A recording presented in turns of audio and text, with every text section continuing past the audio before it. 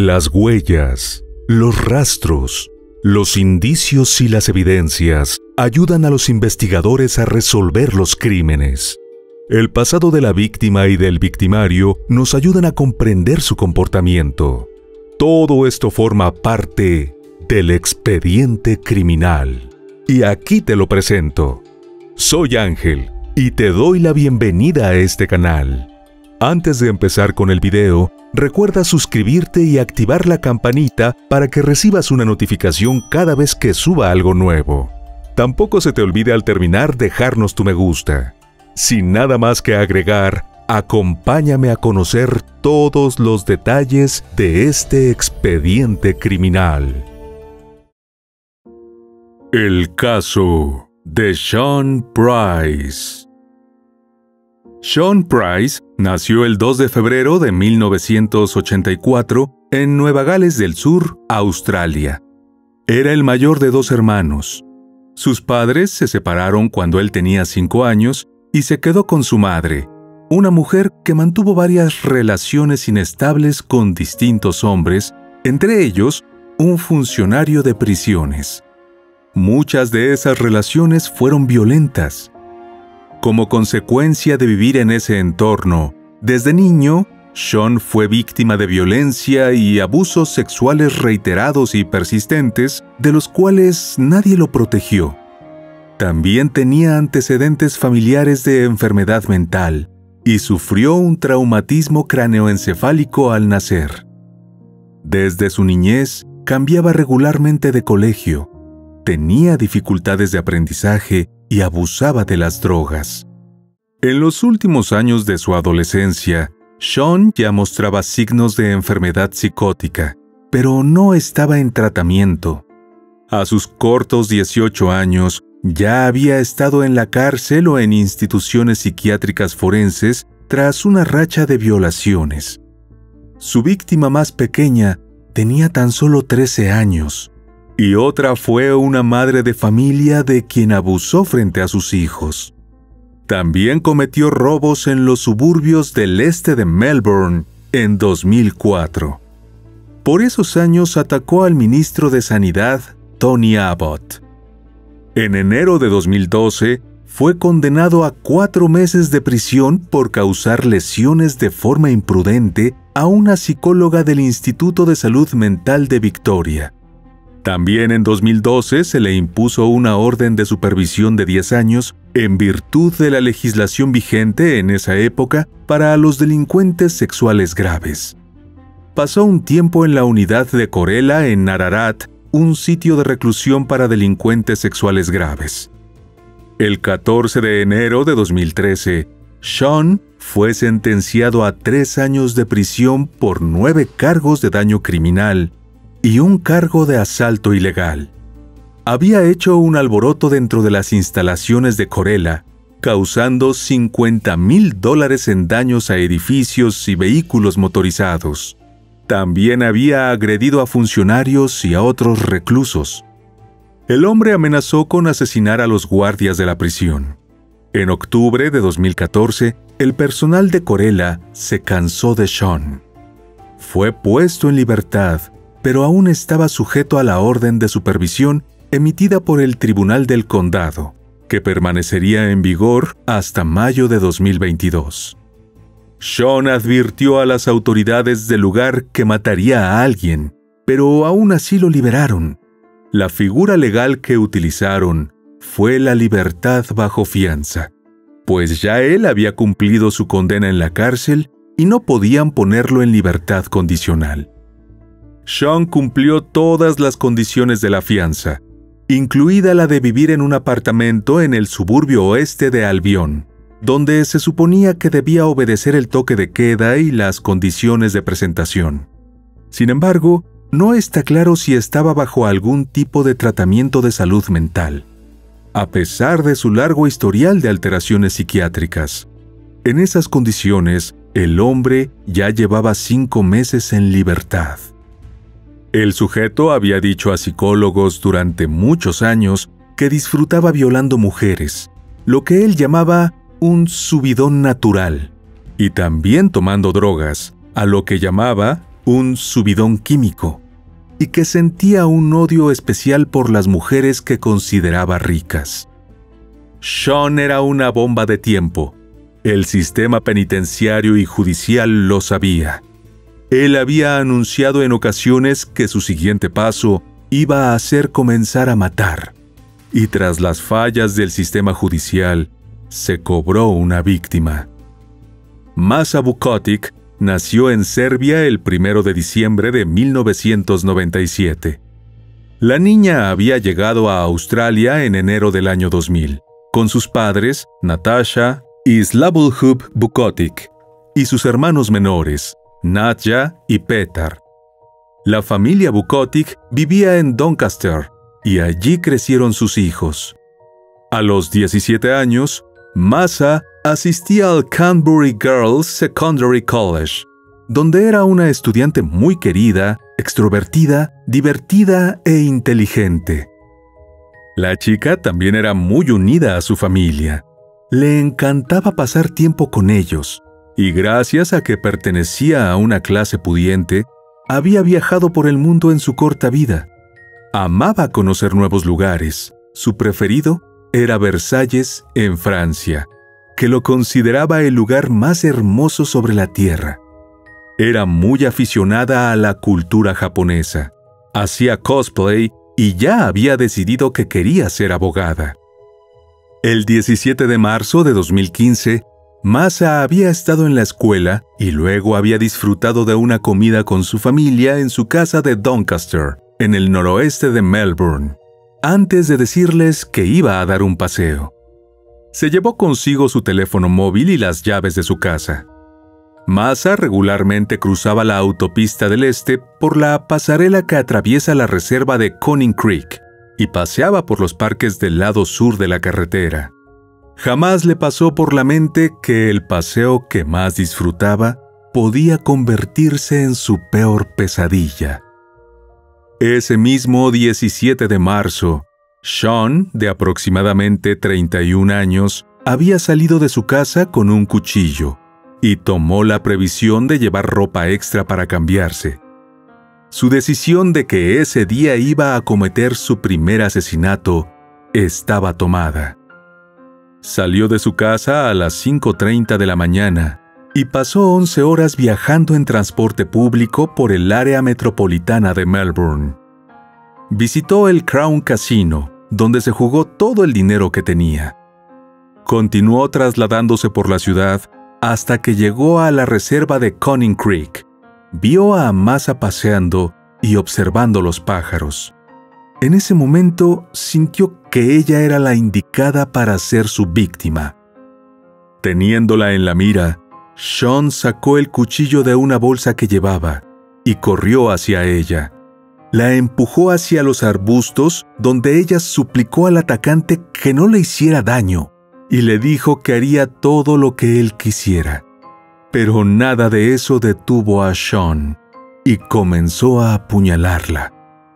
En un momento, al notar un perro cerca de la escena, el atacante detuvo por unos minutos la agresión para investigar qué sucedía.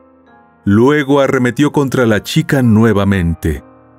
Sean perdió todo tipo de cordura, apuñaló sus órganos vitales, sobre todo el corazón, con cuchilladas profundas y desgarros de gran tamaño.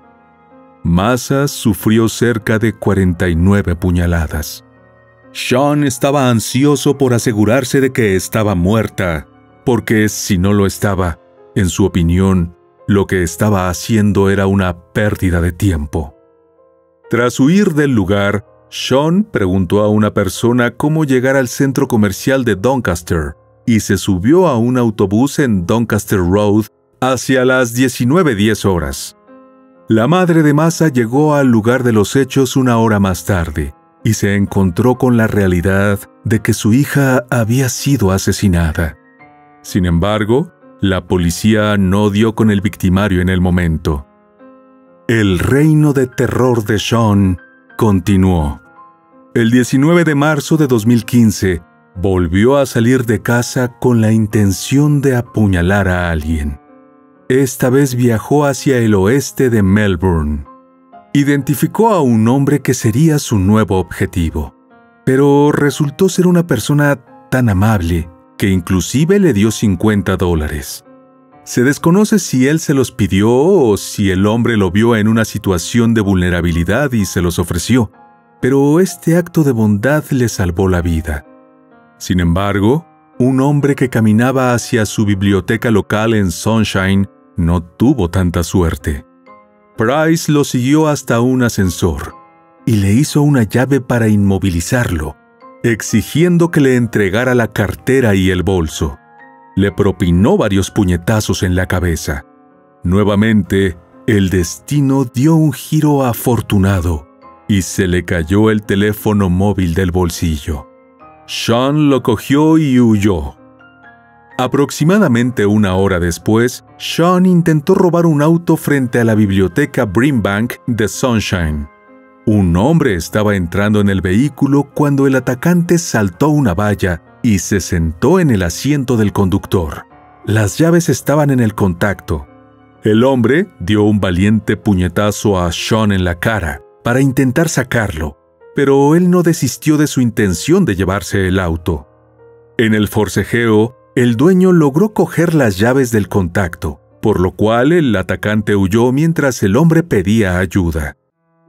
Con el tiempo agotándose, Sean cometió su último acto de maldad. Sabiendo que se enfrentaba a una vida entre rejas, decidió embarcarse en alguna gratificación sexual antes de ser arrestado.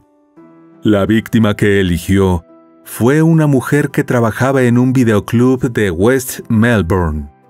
Pasó 25 minutos en esa tienda, pero su objetivo se vio frustrado por otros clientes que merodeaban por allí.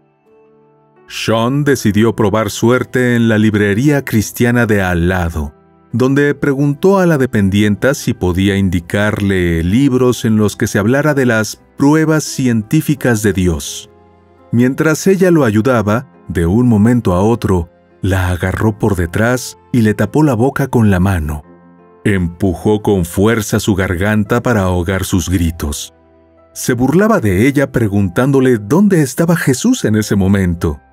Luego la obligó a tirarse al suelo boca arriba y la violó.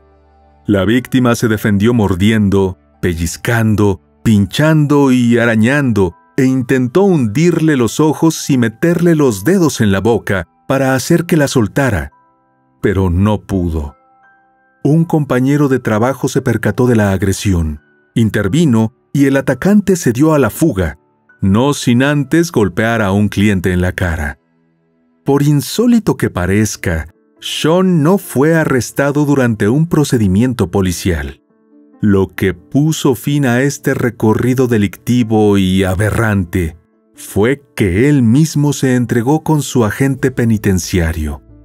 En su interrogatorio dijo que no sentía pena por masa y describió a las violaciones como una excitación o subidón, similares a los efectos que le provocaban las drogas que consumía. El sujeto se enorgulleció de lo que le había hecho a la mujer de la librería y contó a la policía que su víctima había hecho comentarios estúpidos, religiosos y de porquería. Respecto al asesinato de Massa, dijo que si él pidiera disculpas, no cambiaría en nada, y que al menos había sufrido por un corto periodo. Sean dijo a la policía que habría necesitado matar a varias personas en zonas acomodadas para que se pusiera de relieve su situación bajo custodia, y la supuesta corrupción de las clases sociales altas. El 25 de marzo de 2015 se llevó a cabo el funeral de masa en el cementerio botánico de Springvale, donde sus allegados le rindieron tributo y la describieron como una adolescente divertida, con un feroz espíritu competitivo que la impulsó a ser siempre la mejor cientos de dolientes se reunieron para despedir a la estudiante de la Universidad Secundaria Femenina de Canterbury en un ataúd blanco y en un servicio dirigido por un sacerdote de la Iglesia Ortodoxa Serbia. Su padre, Slavbulhub, dijo que el dolor era insoportable, pero que tratarían de ser valientes como lo fue Massa, pues ella viviría siempre en sus recuerdos. Agregó que sus corazones latían cada día por la hermosa jovencita, cuya vida fue demasiado corta, pero que tuvo muchos momentos impresionantes. La mejor amiga, Madison Stone, dijo que la sonrisa de Massa era como cien fuegos artificiales que iluminaban el cielo, y describió a la chica como épica y ruidosa, feliz e infernal, y con mucho la persona más hermosa de todo el mundo. El juicio contra Sean comenzó a finales del año 2015 en la Corte Suprema de Victoria. Durante el juicio, la fiscal Michelle Williams sacó a relucir los motivos banales por los que Sean asesinó a Massa. El sujeto había dicho que la jovencita estaba vestida como una yuppie o una persona adinerada, cuando la vio en un parque de Doncaster el 17 de marzo, y pensó que tenía que matarla. Mientras él la miraba, Massa, que no tenía ni idea de que la estaban espiando, vio un pajarito en la reserva y como le pareció lindo, comenzó a hablarle. Ese fue el acto que terminó por sacar lo peor de Sean, quien se burló de la chica al ser interrogado y dijo que ella empezó a hablarle a un pájaro como si fuera Blancanieves y por eso simplemente terminó siendo la indicada. La fiscal también detalló que el hombre de 31 años y con un largo registro delictivo estaba bajo una orden de supervisión cuando comenzó su arremetida de dos días.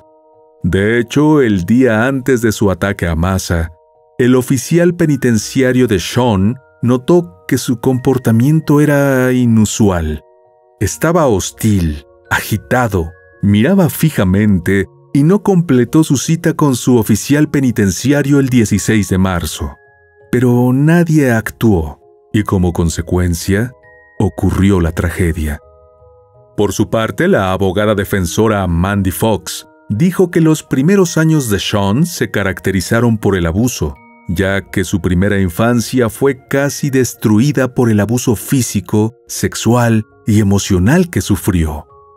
Esas fueron las razones por las cuales comenzó a consumir alcohol cuando era adolescente y luego comenzó a tener alucinaciones auditivas. Pese a los intentos de la abogada Mandy por hacer ver la trágica vida de Sean a lo largo de todo el juicio y lograr algo de compasión, aparentemente su cliente no estaba muy conforme. Durante la audiencia previa a la sentencia, Sean despidió a su abogada en el tribunal y dijo que se representaría a sí mismo. También le dijo a la corte que no quería que se considerara ninguna de las presentaciones hechas por Mandy. Tras la sorpresiva acción, el sujeto afirmó que solo podía decir que era culpable del crimen, que solo deseaba disculparse y que no quería que se le mostrara ninguna indulgencia. En marzo de 2016, el juez Lex Lusry lo condenó a cadena perpetua, con un periodo de 38 años sin libertad condicional por el asesinato de masa y 14 años por la violación ocurrida en la librería. Dijo que la conducta de Sean era repugnante, pero los principios de misericordia significaban que no impondría una pena de cadena perpetua sin libertad condicional. Agregó que sus perspectivas inmediatas para cualquier forma de rehabilitación eran en el mejor de los casos sombrías, si no inexistentes. Además argumentó que en ausencia de un tratamiento adecuado, seguiría siendo un peligro significativo para la comunidad en el futuro inmediato. El juez Lex fue mordaz con el sistema judicial que dejó libre a Sean diciendo que la falla del mismo tuvo un impacto negativo en muchas vidas. Recordó que Sean tenía antecedentes de enfermedad mental y delitos sexuales violentos. Además estaba en libertad bajo fianza cuando atacó a Massa y violó a la empleada de la librería. Dijo que había muchas señales de alerta que indicaban que los riesgos de dejarlo solo eran muy significativos y probablemente involucrarían violencia pero no se hizo lo suficiente. El hombre cumple su pena, y las autoridades lo consideran uno de los reclusos más peligrosos de Victoria, uno de los pocos presos con escolta de alta seguridad. Esto significa que el personal especializado del Grupo de Servicios de Seguridad y Emergencia debe escoltar a Sean siempre que se le traslade fuera de la prisión. Sean quiso objetar su sentencia diciendo que no había cometido la violación y que el asesinato de Massa se produjo bajo un cuadro de inestabilidad mental de su parte. Se redujo por tecnicismos jurídicos una parte de su condena por violación, pero no hubo cambios respecto a la sentencia por asesinato. En todo caso, los tecnicismos no hicieron diferencias significativas a la totalidad de su condena. Sean generó un dolor irreversible a cada una de sus víctimas, debido a un sistema judicial lleno de fallas que lo mantuvo en libertad pese a ser una amenaza para la sociedad.